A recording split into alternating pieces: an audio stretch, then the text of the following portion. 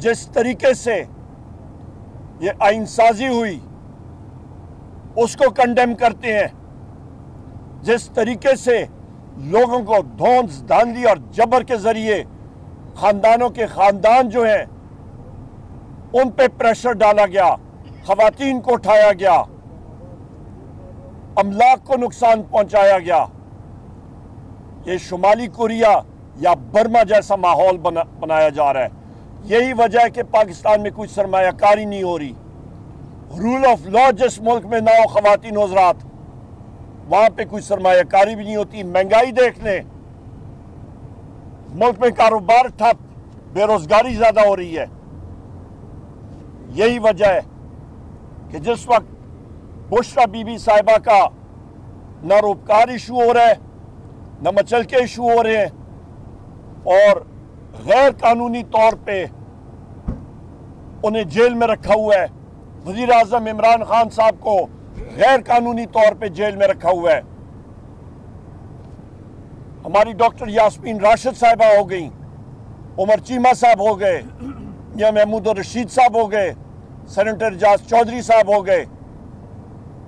जनाब हसान न्याजी साहब, military courts में पचासी से ज़्यादा लोग हमारे उनको गैर कानूनी तौर पर रखा हुआ है। 1600 हमारे लोग 4 अक्टूबर के दिन जो पकड़े हुए थे, उनको गैर कानूनी तौर पर रखा हुआ है। इस चीज़ को हम लोग कंडेम करते हैं, खवतिन हजरात। पाकिस्तान जब तक पाकिस्तान उस वक्त तरक्की करेगा, जिस वक्त आइन और कानून की बालादस्ती होगी। इन ताला हमारी आइनी और कानूनी जंग पाकिस्तान में आइन और कानून की बालादस्ती के लिए जारी रहेगी। बहुत शुक्रिया। आप ये बताइएगा कि बीबी के मुतलके जो है वो जमा हुए हैं या नहीं? एक चीज़ तो दूसरा ये बता दें कि नए चीफ जस्टिस ऑफ़ पाकिस्तान की तैनाती हो गई है। अब पचास छब्बीस पच्चीस तरीक को जो है हलफ लेंगे आप अपनी जो नशस्तें हैं वो कहाँ खड़ी हैं? वो कहाँ जा रही हैं आपकी? जनाब सजा चौधरी साहब बहुत अच्छा सवाल है आपका। हमारे वकला हजरात इस वक्त भी अदालत में मौजूद हैं पर जज साहब नहीं है सीट पे। वो गैब हो गए।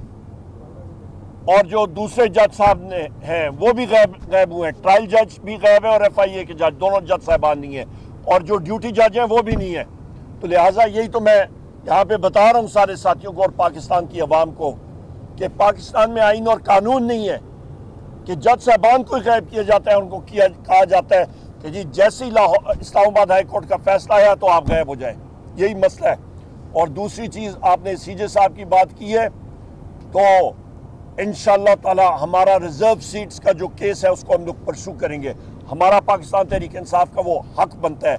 और जो सीजे काजी फायज ईसा साहब ने बात मतलब उन्होंने जो कल का डिसीज़न किया था, मैंने कल भी एक टीवी प्रोग्राम पे कहा था तो यही थी जाते जाते ज़रूर कोई गंद करेंगे, पर अभी उनका टाइम हुआ चाहता है कि वो घर में बैठ के कॉफ़ी और डोनट्स खाएँ। उमर अयूब साहब आपके जो शुरुआत जिन्होंने आपने इजहार किया वो दुरुस्त है। लेकिन अगर ये रोज़गार कल जारी हो जाती है तो फिर आप जो जो आज बातें कर रहे हैं इनके हवाले से क्या कहें? मैंने आज की जो बात कही है उस पर मैं कायम हूँ कायम कायम रहूँगा। मैं कभी भी कोई बात नहीं करता जिस पर मैं कायम नहीं होता अल्हम्दुलिल्लाह। मैं 25 साल से सियासत में हूँ और मैंने पहले ही बता दी है। सर ये बताइएगा कि जैसे कि अमीन गंडापुर ने कहा कि नई चीफ जस्टिस अगर आते हैं तो बाकायदा आप लोग एहतजाज करेंगे मुल्क ब्लॉक करेंगे। हमारा एहतजाज हमारा एहतजाज आइन और कानून की बालादस्ती के ऊपर है।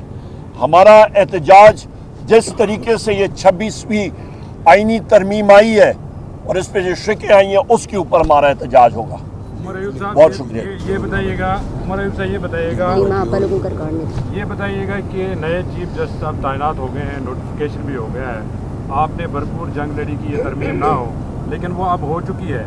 नए चीफ जस्टिस के सामने आप अपने केसेस लेके जाएँगे उन पर एतमाद का इजहार कर रहे हैं आप कि नहीं कर रहे? देखिए जी एक जुडिशल प्रोसेस है हम लोग जज हैं वो कि हम लोग अपने जुडिशरी को रिस्पेक्ट देते होते हैं और हम लोग जाएँगे। जो भी जज साहबान होंगे उसकी कुर्सी के सामने तो आपने खड़ा होना है केस लेने के लिए। और यहाँ पे इसी अडियाला जेल में आपकी अलीमा साहिबा भी इस वक्त जेल जेल में जे, जेल में है और उस्मा साहिबा भी। वो किस चीज़ में जेल जेल काट रही हैं? वो बिल्कुल मासूम है। उनके खिलाफ कोई ऐसे चार्जेस नहीं। उस चीज़ को हम लोग उसको हम लोग कंडेम इन इन चीज़ों को हम लोग करते हैं। जी वो मैंने कह